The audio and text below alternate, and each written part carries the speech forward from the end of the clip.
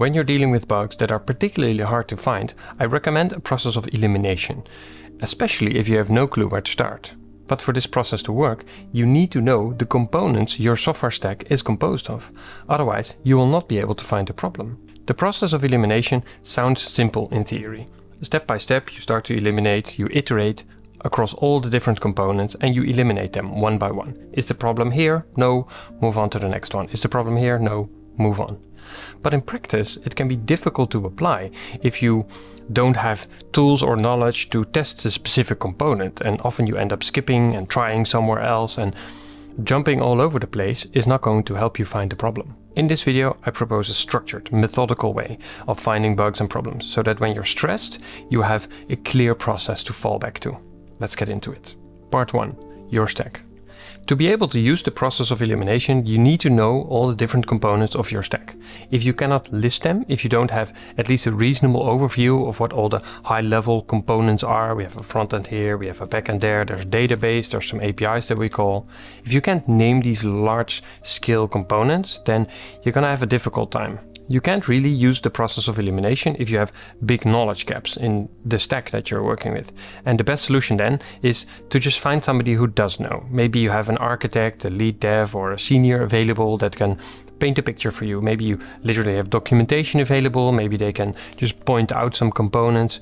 If you explain to them, I'm going to try to use the process of elimination to find this specific bug, can you point out the things that are relevant for me right now? They'll often be able to help you. Once you have an overview of all the parts, you need to also know what component talks to what component. And there's there's an arrow if you look at it from a architecture diagram perspective. This front end calls that API, so there's an arrow to that way. So you know data is not going to flow the other way. This is a request in that way and a response in that way. So you can start inspecting this network traffic, for example. If you do have a good overview of your stack or you have good architecture diagrams or other documentation available, you're good to go. My recommendation is to pick one end of the data flow, the front end or the database all the way in the back end, and start at one end. And then you can proceed from there. Let's look at how to zoom into those components next. Part 2, your methods.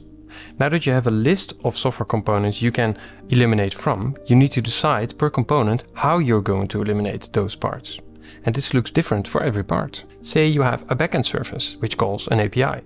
The smartest approach is to not inspect the internals just yet. Yes, I'm recommending to ignore the internals of both the service and the API for now. Instead, you should focus on the communication, the boundary between them. Because often when you look at the communication, the request or the response or whatever's happening, how the data flow is going, when you look at that part, you, when you look at the boundary, you'll realize is either one of them, but it can't be both. And that saves you the time of clearly deeply spending time with the internals of those components. That saves you a lot of time. In this example, the communication between the service and the API can be an HTTP request, and it's also the HTTP response.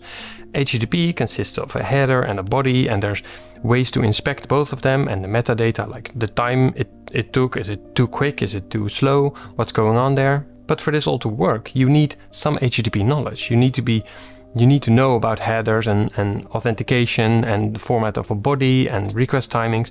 And if you don't know all these things, then it can be more difficult to work with. Having the knowledge is very important on one hand, and on the other hand, you also need tools available. Sometimes Postman, because you can reproduce it locally, is very easy. But if you have a bug which you can only reproduce in production in a certain Kubernetes cluster or whatever situation you have going on, then maybe adding a log statement and doing a release so that when you turn on debug logging, you get that information in a different way may be the better solution in your case. I'm not saying Postman is the answer to everything. There's no silver bullets. What tools or methods you use depends highly on which software components you have. If you have large scale software components like a service calling a REST API, then maybe a network inspector is a good idea. But if you have small scale software components which you're trying to debug, like this class calling this other function or method in this other module or class, then maybe a log statement is enough. It really depends on what you're working with here. But when you're dealing with classes calling each other or functions calling each other, that's usually a lot quicker and a lot easier to debug because you can just write unit tests for it, or you can just add some log statements or run the live debugger and inspect the data that's going from function to function. The important insight here is that if you don't know how to inspect the communication, the boundary between two software components, you must learn how to do it. This may involve learning a new skill, learning a new part of a language or learning a new tool. This may involve installing a new tool. This may involve updating the software that you write. Maybe you need to write some code to be able to inspect it better because right now it is not inspectable. Really, whatever you need to inspect this problem right here, because if you skip this intersection, this boundary of components, and you move on to the next one on the list, then you're probably going to end up running in circles around the problem. Part 3, an example. Let's say your software stack has four high-level components.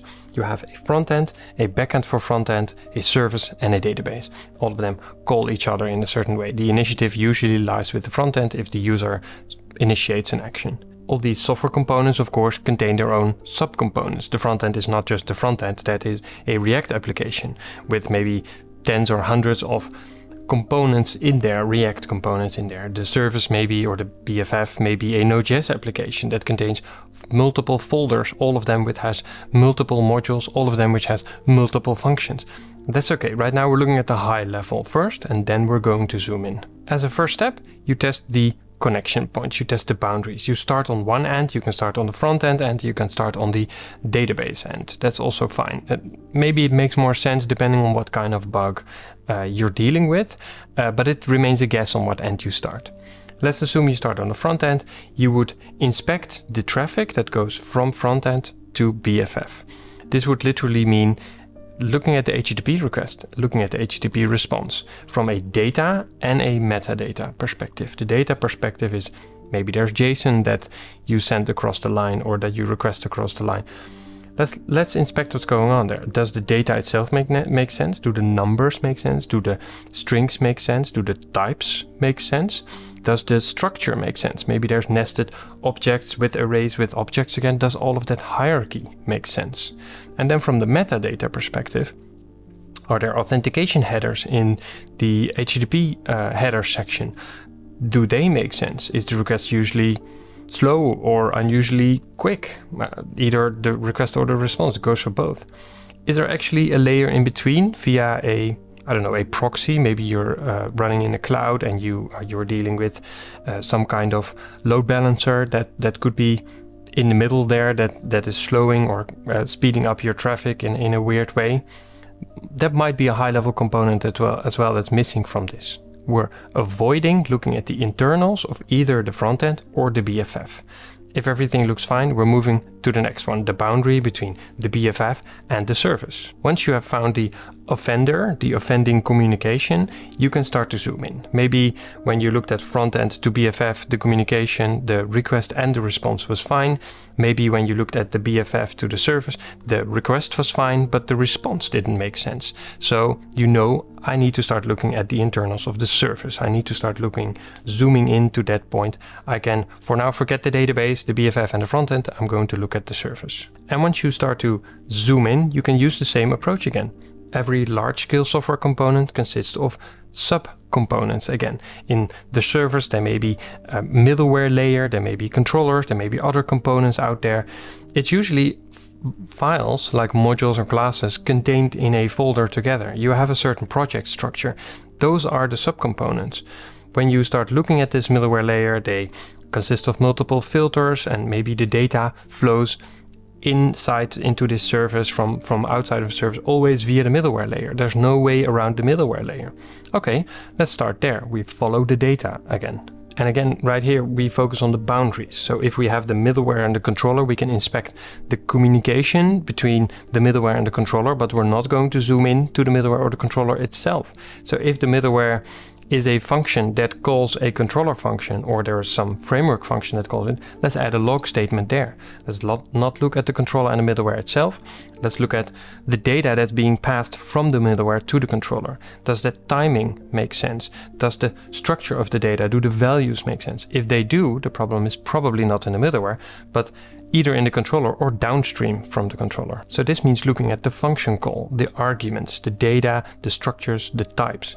Maybe you want to add log statements, maybe you want to fire up a live debugger if you can easily produce a problem locally. And at some point you are at the lowest level, then you can oversee the problem. It's just one class or one function and you know it's somewhere in here, it has to be somewhere in here. Then you can start adding even more log statements or fire up your live debugger, add tests via TDD, see what happens.